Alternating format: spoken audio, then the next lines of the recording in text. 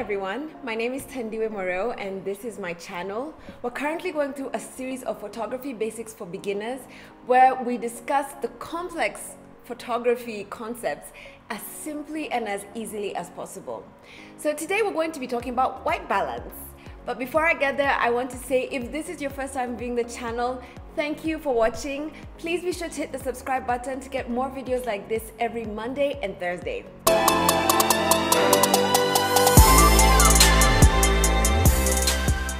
So before I can even begin to discuss white balance, I need to talk about something called kelvins. And what are kelvins? Kelvin is a measurement of the warmth or the coolness of the color in your photographs. So a very basic example would be, have you ever stood under one of those yellow light bulbs that you put in the house? When you stand next to it and you look at your skin, of course your skin looks more yellow. Well, on the flip side, have you ever stood next to a fluorescent bulb, so one of those long white light tubes. And if you stand under there, you notice that your skin is not very yellow. Maybe it leans more towards a more bluish or cooler color. So the warmth or the coolness of the images is what we refer to as kelvins. And in your camera, we call it white balance. So white balance determines how warm or more yellow, orange your pictures are, or how cool, that is how blue your pictures are. Why is white balance even important? Why should I care about white balance? White balance is important to us as photographers because it helps us communicate a mood and a feeling in our photographs. So let's say I shoot somebody on a cold day and I want to communicate to the viewer that the person, the subject in the image is feeling really cold. If I take that image of somebody who's supposed to be looking cold and make it really warm and yellow, the viewer may not instantly think cold. But if I make the image very blue you instantly relate blue to cold water or to snow or just to a fridge, something really cold. So that would communicate the feeling of the subject feeling cold. So white balance is an important part of communication in photography. So there's several ways you can control white balance in your camera. Firstly, you could let the camera do it automatically and make all decisions based on the color temperature of your images for you. Or you can use one of the presets that the camera has. And some of these are like white balance for shade, white balance for fluorescent lights, iridescent lights, white balance for cloudy days or direct sunlight. Or thirdly, you could decide to tell the camera that you're going to make all the decisions about white balance and actually using kelvins set the number you want your white balance to be. To change the white balance on your camera, this varies from make and model, the make and model that you use, but universally on every camera, your white balance is denoted by the, the letters WB, which stands for white balance, of course. And to change it, you, you would press the white balance button and then use the dial on the top of your camera to put the setting you want. Okay. You can also change your white balance in the menu, in your shooting menu. So all you need to do is go to menu, go to your shooting menu, and then scroll down until you see something saying white balance. And then from there, you can go ahead and change it. I'll begin with the easiest white balance preset on your camera, which is the auto mode. And here you're telling the camera, I don't want to make any decisions about the color temperature in my pictures, you make all of them. I find that the auto mode works pretty well most times, except when the light changes, I find it tends to get confused and it may not be as quick to adapt to the changes. So let's say you're shooting in direct sunlight and then suddenly the sun goes behind a cloud. I found that sometimes my white balance won't make the change or it may not be able to estimate very well what the correct white balance should be now that that big change has taken place. So I avoid using auto, but it is a good option for you if you don't want to think about white balance at all. The one challenge with auto white balance is that if you're looking for consistency in the colors across all your images, it may sometimes change when you don't want it to change. So you may want to use other white balances if you want each and every shot to have the same color temperature. The next white balance preset that your camera offers you is direct sunlight. The color temperature of direct sunlight is 5200 Kelvin. So when you put your camera on the white balance preset for direct sunlight, this is what your Kelvin would be. This is a Kelvin I actually shoot at almost 80% of the time. I find it works well across a range of scenarios. I prefer to use my white balance in the manual mode, but more on that later. All you need to know for now is direct sunlight is 5200 Kelvin and it's designed knowing that sunlight is a bit more yellow than other types of light, so this leans slightly more towards the warm tones. The next white balance preset on your camera is flash. And if you've used flash before, you know that it tends to put a very cold, hard light on your subject. So in the flash white balance preset, it's slightly more Kelvin than direct sunlight. That's 5400 Kelvin. And that's because manufacturers know that when you use a flash, they may need to warm up the image a bit so that people's skin tones don't look colder than usual. This is a great preset to use, of course, if you're using your flash.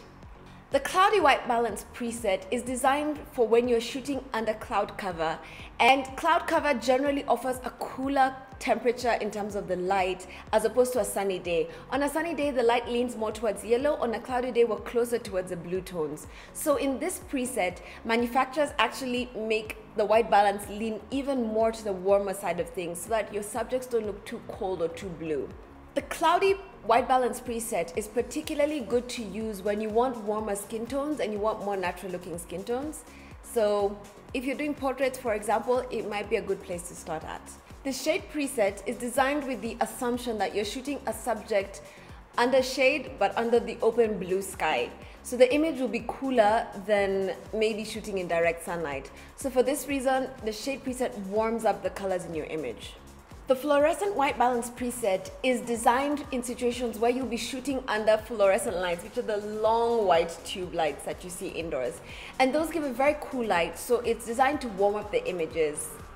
The incandescent white balance preset is designed for your typical household light bulb, so the very yellow light bulbs, so it, it cools down the image to counteract some of the yellow tones of the light to give you more natural looking skin tones and environments. This is a good preset to use if you're shooting indoors in low light. So if I'm not using my flash and I'm shooting in a situation where people are indoors or under fairy lights, this is a really good preset to use. The last white balance preset on your camera is denoted by the letter K and this is a manual mode where you make the decisions about what you want your white balance to be. To use this mode, you must know the range of colors on the Kelvin scale so you can decide if you want to make your image warmer or cooler I prefer to use this particular preset because it gives me full control over the lighting. Sometimes, let's say I'm shooting in direct sunlight and I actually want my images to be warmer than they, the camera thinks they should be. Shooting in manual mode will mean I have the control to do that as opposed to the direct sunlight mode where the camera will get the correct white balance but it may not be what I want. One of the big benefits that manually setting your white balance has is situations where the lights are different colors. So for those of you who do event or wedding photography, people are very fond of those lights that have color gels on them or they're LEDs that are colored. So they could be a very vibrant saturated red or blue or green or purple. And in a situation like that, the light is such a strong color, it messes with how your camera would read white balance. So using your camera in the manual white balance mode would allow you then to just use your own discernment to decide this red light shining into my image is actually affecting it this much, but no more. The camera could get confused and decide that the image is so red, it could make it too cold now. So it could make your white balance way too blue. And then the skin tones in your image look unnatural. So manual mode allows you control in situations where your camera just won't be able to make a decision. Your white balance can be changed not only in your camera, but also on your computer when you're editing the images. However, to do this, I would encourage you to shoot your images in RAW so that the color change can be more natural. If you want to know more about the RAW file format, you can click on this link to watch the episode where I give more information about it. But of course, it's always best practice to try and get your white balance as accurately as possible in your camera because Photoshop doesn't always fix everything. So learn to shoot right in camera and then just tweak in Photoshop. The easiest way I can demonstrate white balance is actually using this video. So I'm going to change the color settings on that camera to show you what each preset kind of looks like. This is what the video looks like on the automatic white balance preset. This is what the video looks like now in the incandescent white balance preset. If you use white, your white balance on the fluorescent setting, this is what it looks like. This is white balance for direct sunlight. This is a white balance preset for flash. And this is a cloudy white balance preset. The shade white balance presets. And then this is on manual mode, which is what I usually use my camera on. I hope that was helpful in showing you how white balance can affect the mood and the feeling of your image and how it really can add color to your images. Sometimes you may be shooting in scenarios where if you change your white balance preset, you may not really notice a difference. So don't panic. Depending on the situation you find yourself in light-wise, that may or may not happen.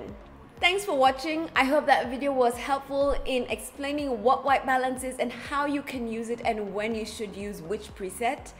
If you have any comments or questions about white balance or even just photography in general, please post them in the comment section below so we can get a conversation going. If this is your first time viewing my channel, thank you for watching. Please make sure you hit the subscribe button to get more videos like this every Monday and Thursday.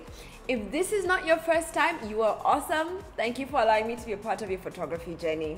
Any gear that I've mentioned in this video is listed in the description box below so you know where to get it.